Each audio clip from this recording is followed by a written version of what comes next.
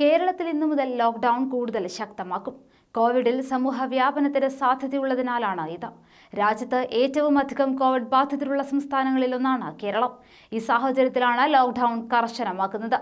യാത്രാ പാസുകൾ ഓൺലൈൻ വഴിയാക്കി. ഇതോടെ പാസില്ലാത്ത ആർക്കും യാത്ര ചെയ്യാൻ കഴിയാതെ വരും. ലോക്ക്ഡൌൺ നിരോധനം ലംഘിച്ച് യാത്ര ചെയ്തതിന് സംസ്ഥാനത്തൊട്ടാകെ ഞായറാഴ്ച ആയിരത്തി ഇരുപത്തിയൊൻപത് പേർക്കെതിരെ കേസെടുത്തിരുന്നു. ഇതോടെ ആറ് ദിവസങ്ങളിലായി എടുത്ത കേസുകളുടെ എണ്ണം ഒൻപതിനായിരത്തി മുന്നൂറ്റി നാൽപ്പത് സംസ്ഥാനത്ത് ഇന്നലെ അറസ്റ്റിലായത് ആയിരത്തി അറുപത്തിയെട്ട് പേർ. അഞ്ഞൂറ്റി മുപ്പത്തിയൊന്ന് വാഹനങ്ങളും പിടിച്ചെടുത്തു. പാസ്സില്ലാതെ ഇനി യാത്ര ചെയ്യുന്നവരുടെ വാഹനങ്ങളുടെ രജിസ്ട്രേഷൻ റദ്ദാക്കാനാണ് തീരുമാനം. അങ്ങനെ കടുത്ത നടപടികൾ എടുക്കുകയും ചെയ്യും. എങ്ങനെയും ലോക്ക്ഡൌൺ ശക്തമാക്കണമെന്ന സന്ദേശം സർക്കാർ സർക്കാരും പോലീസിന് നൽകിയിട്ടുണ്ട്. എന്നാൽ യാത്രക്കാരോട് കയർക്കാൻ പോലീസിനെ അനുവദിക്കില്ല. ലോക്ക്ഡൌൺ നിർദ്ദേശങ്ങൾ ലംഘിക്കുന്നവരെ പതിനാല് ദിവസത്തെ ക്വാറന്റൈനിൽ പ്രവേശിപ്പിക്കണമെന്നാണ് സംസ്ഥാനങ്ങൾക്ക് കേന്ദ്രത്തിന്റെ നിർദ്ദേശം. ഇവരെ സർക്കാർ ക്വാറന്റൈൻ സംവിധാനങ്ങളിലാണ് പ്രവേശിപ്പിക്കേണ്ടത് എന്നും കേന്ദ്രം സംസ്ഥാനങ്ങൾക്ക് അയച്ച പുതിയ സർക്കുലറിൽ വ്യക്തമാക്കുന്നു. ക്വാറന്റൈനിലുള്ള അത്തരം വ്യക്തികളെ നിരീക്ഷിക്കുന്നതുമായി ബന്ധപ്പെട്ട് വിശദമായ നിർദ്ദേശങ്ങളും സംസ്ഥാനങ്ങൾക്ക് നൽകിയിട്ടുണ്ട്.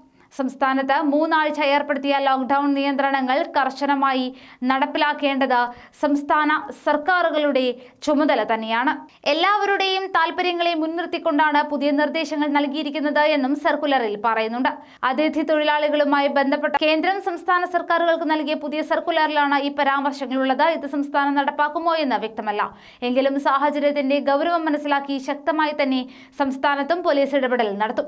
കോവിഡ് നയന്റീനെ തുടർന്നുള്ള നിയന്ത്രണങ്ങളുടെ പശ്ചാത്തലത്തിൽ പൊതുജനങ്ങൾക്ക് അത്യാവശ്യ സാഹചര്യത്തിൽ യാത്ര ചെയ്യുന്നതിനാവശ്യമായ സത്യവാങ്മൂലം വെഹിക്കിൾ പാസ് എന്നിവ ലഭിക്കുന്നതിന് ഓൺലൈൻ സംവിധാനം സജ്ജമാക്കിയിട്ടുണ്ട്.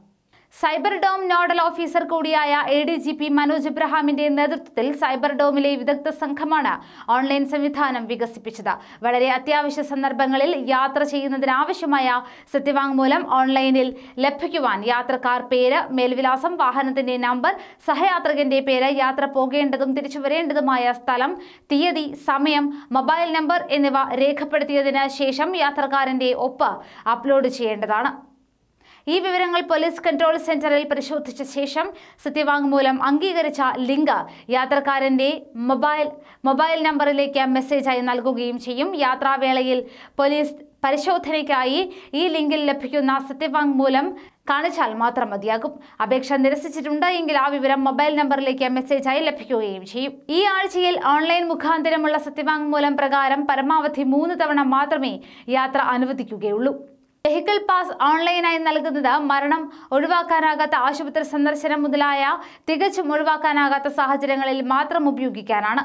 പേര് മേൽവിലാസം മൊബൈൽ നമ്പർ എന്നിവ ചേർത്ത ശേഷം ഫോട്ടോ ഒപ്പ് ഒഫീഷ്യൽ ഐ ഡി കാർഡ് എന്നിവയുടെ ഇമേജ് അപ്ലോഡ് ചെയ്യേണ്ടതാണ്. പരിശോധനയ്ക്ക് ശേഷം പാസ് യാത്രക്കാരന് മെസ്സേജായി ലഭിക്കുകയും ചെയ്യും. ഇതും ആഴ്ചയിൽ പരമാവധി മൂന്ന് തവണ മാത്രമേ ലഭിക്കുകയുള്ളൂ.